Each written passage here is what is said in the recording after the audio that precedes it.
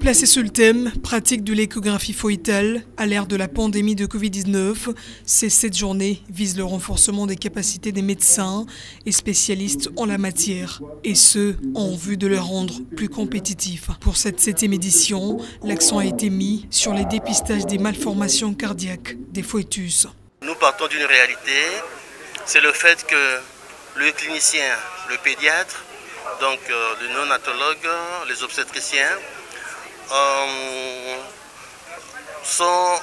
ils disent que nous ne voyons pas des malformations.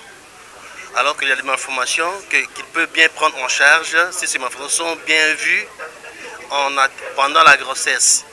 Ils vont se préparer pour que quand l'enfant naisse, euh, qu'ils aient de quoi sauver l'enfant. Mais nous ne sommes pas en mesure de voir des malformations. C'est pour cette raison que nous acceptons la remarque et on fait appel à ces experts internationaux euh, euh, pour nous apprendre à améliorer notre pratique en échographie fétale.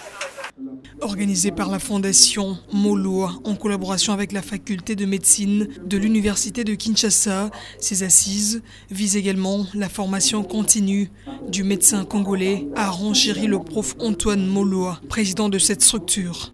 Dans notre système de santé, euh, la formation en échographie fœtale n'est pas encore formalisée.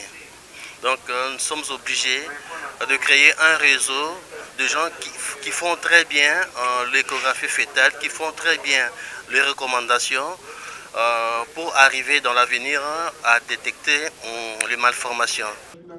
A souligner que cette septième édition des journées d'échographie, qui se tient en mode présentiel et en visioconférence, réunit les médecins congolais et ceux venus de la France en vue de partager les connaissances pour harmoniser la pratique. Ces journées vont se clôturer le samedi 4 décembre prochain à Kinshasa.